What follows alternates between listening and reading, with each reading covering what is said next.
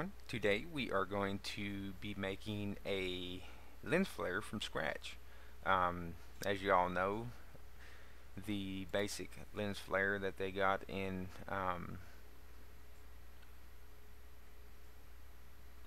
GIMP itself is kind of um, yeah I don't I don't like it it's uh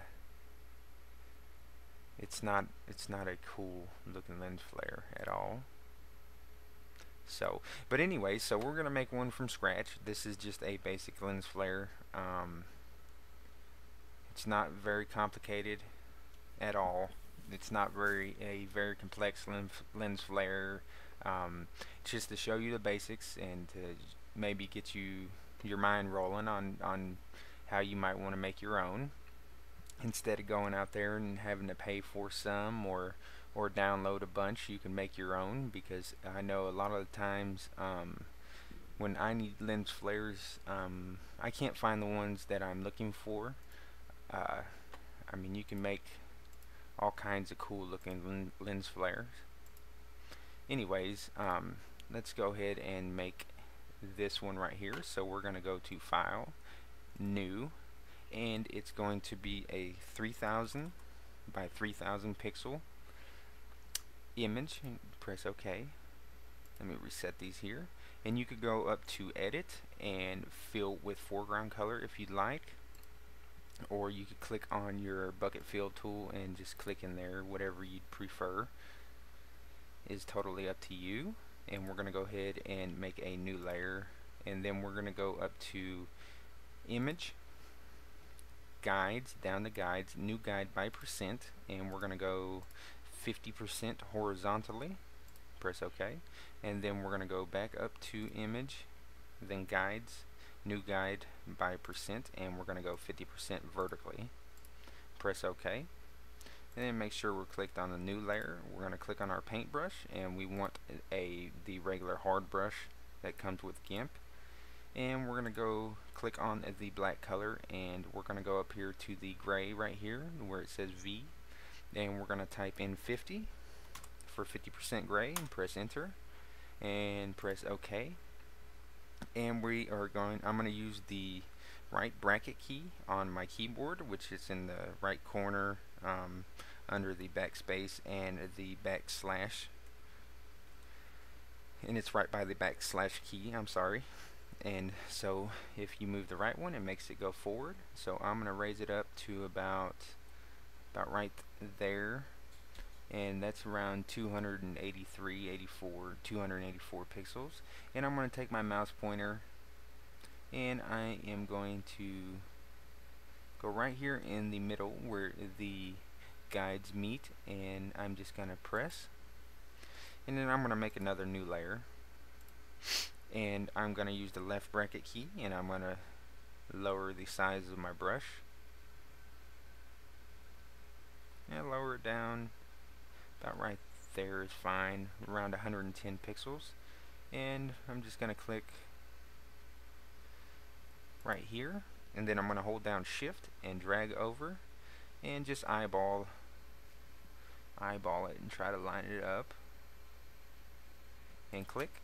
And there you go we're done. No I'm just playing.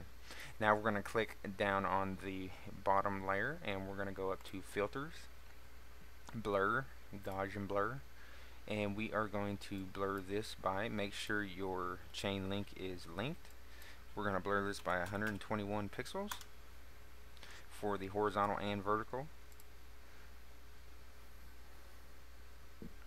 And then we're going to go and we're going to click on this top layer and we're going to go filters and go down to reshow Gaussian blur. And let's find that line here just the outside edge. And we are going to blur that by 800 or uh, actually let's uncheck the chain link and make sure it's unchecked. And then we're going to blur this by 800 by 40 and press OK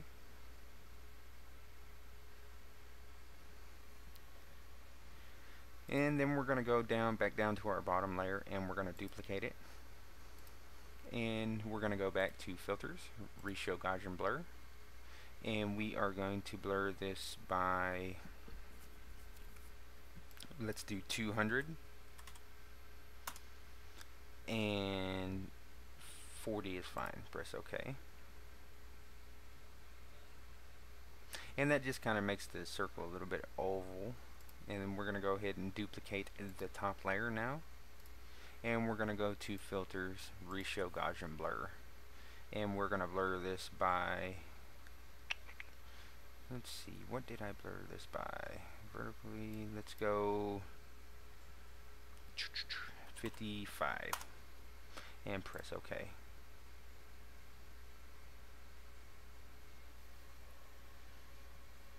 and that looks okay to me. Now let's turn off the background layer and let's right click on the very top layer and click uh, merge visible layers and just click merge. Turn back on the background layer. Now to hide the guides let's go control shift T and let's go ahead and duplicate the whole layer. And let's click on our scale tool or you could press shift T and for my scale tool I have no guide selected and keep aspect ratio. And so we'll just click on the image and we will drag this down to about uh, right there. And let's drag it the sides out a little bit. And then press scale. And let's grab our move tool by pressing M on our keyboard and we can just drag this up if you'd like to do it that way. And that looks pretty good to me. Now we're gonna go ahead and duplicate that one more time. And we're gonna press shift T on our keyboard. And let's drag the top down even skinnier. And then let's drag, dra uh, drag the sides out to about right there and let's press scale. And then let's hit M on our keyboard for the move tool. And let's press hold shift down on our keyboard and press the up arrow key on our keyboard. And then release it and then let's just place that right there in the middle. Something like that. And then let's turn off the background layer and let's right click and merge visible layers again turn back on the background layer. And let's go ahead and go up here to colors and we're going to go to color balance. And we are on the cyans we're going to go negative 37 and then on the greens we're going to go positive 4 and then let's click on the shadows and do the same. Shadow is going to be negative 37 green positive 4 and then the highlights negative 37 greens positive 4 and you can play around with these colors as you'd like. Um, this is just the color that I'm going to use for this tutorial here. Now let's uh, click on the background layer and then uh, create a new layer. And let's click on the very top layer. Let's go to filters and then let's go to uh, uh, light and shadow I'm sorry and let's click on supernova. And let's line this up to about right there. And the color that I'm using for this is 2B C B C B. Press OK and the radius is 61 and the spokes is 375 and the hue is on 0 press OK every time I mess up on this let's control Z that and let's go ahead and click on the new layer I apologize and let's go ahead and repeat supernova. And that did not line up right okay so let's go back to filters reshow supernova and let's move this over to about 1530 by 1515 let's try that and see what that looks like. And there we go. That looks pretty good to me right there. And then we're gonna just click on the top layer and we are gonna go to filters G'MIC and we are going to go up to the patterns and click on the patterns and it'll drop down and you're going to go down to strip and the angle is 45 the frequency is 70 by 37 phase is at 0 the amplitude is at 1.09 and I have um, the output selected to new layers. And let's press apply.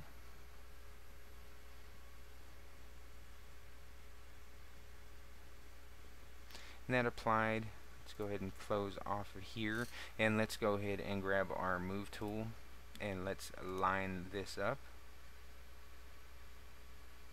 Oops control Z that.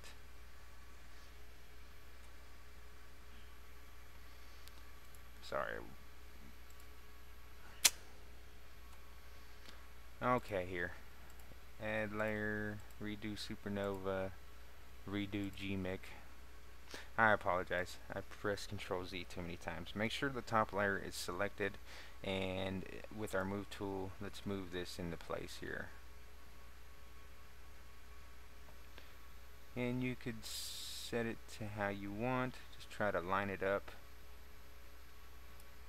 right there and let's grab our crop tool and let's go ahead and crop this image press enter. And it's cropped. And there you go. And now we have that that lens flare that I had made over here. Now I made this one kind of a little bit fatter. And if you wanted it uh, skinnier of course when we went through and and duplicated the layers and made them skinnier and skinnier you could squish them down and make them skinnier and expand the sides out to make them longer and stuff um, but th this is a pretty nice lens flare if you ask me. Now we could go to um, layer and oops sorry layer and then click new from visible layer. I have mine set to uh, it says shift control alt E but you could go control alt shift E whatever it's the same and it brings up a the whole visible layer on there and you could filters blur, Gaussian blur. Make sure this is length is checked, and we could blur it by, let's say, no, that's too much. Let's go um, by 20 pixels.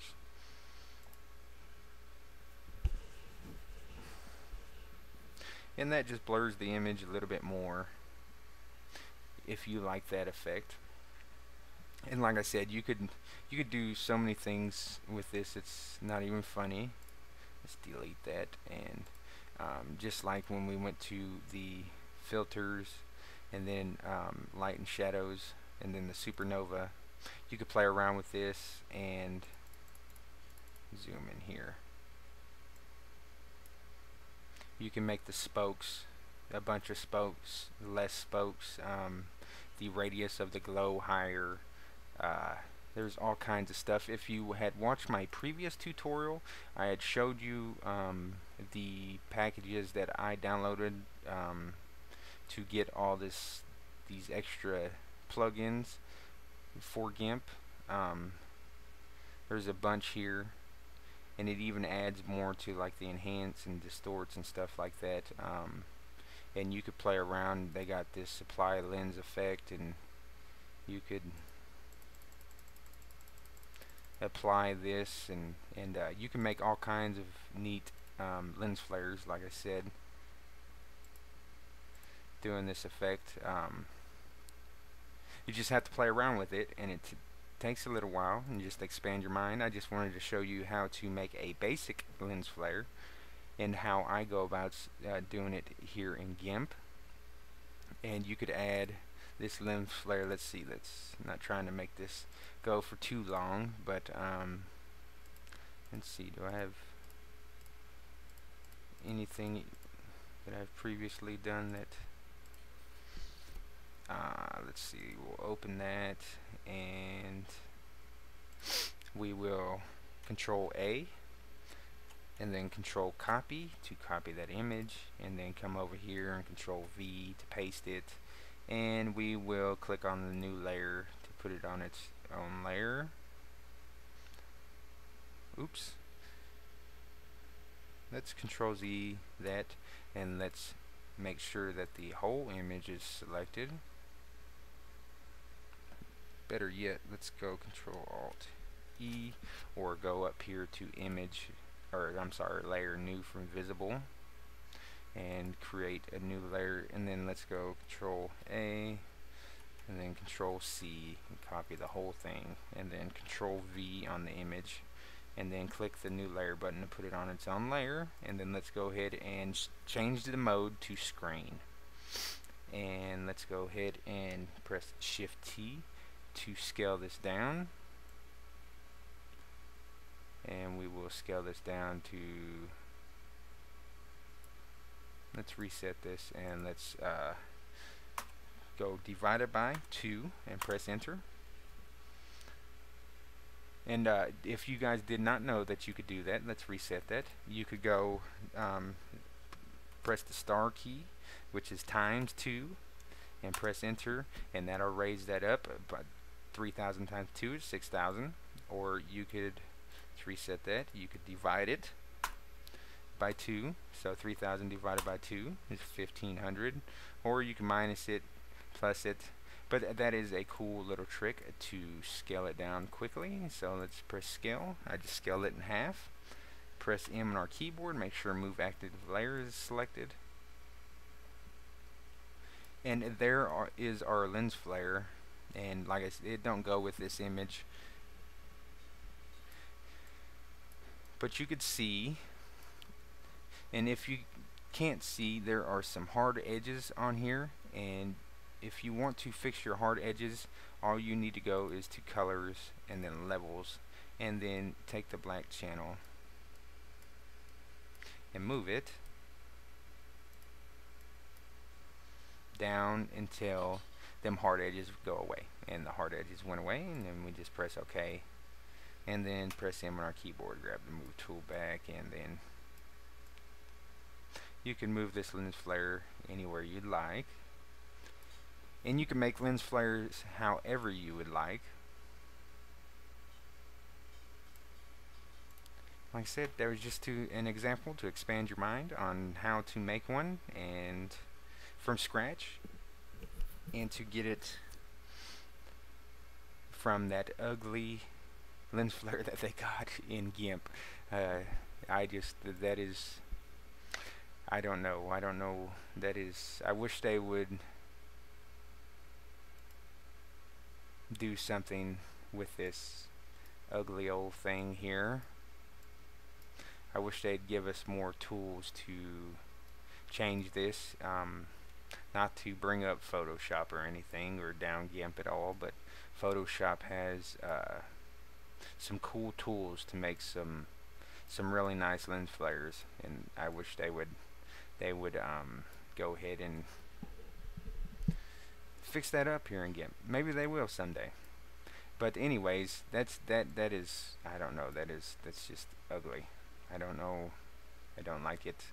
It's ugly, ugly, ugly. And you could I mean, you could do some things like like that and try to set that in the middle and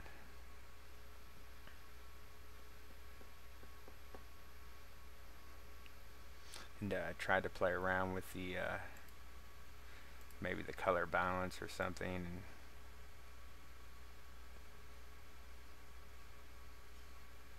and change that